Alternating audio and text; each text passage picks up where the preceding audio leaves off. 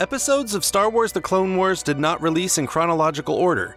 Designed to be episodic, early episodes have a very loose structure touching on pivotal events. As the show began to attract an older audience, the stories became more complex, with story arcs covering multiple episodes that released sequentially. Ambush, the first episode of Season 1, is actually the fifth chronological episode in the series. And if you want to start at the beginning, then Season 2, Episode 16 is where you should begin.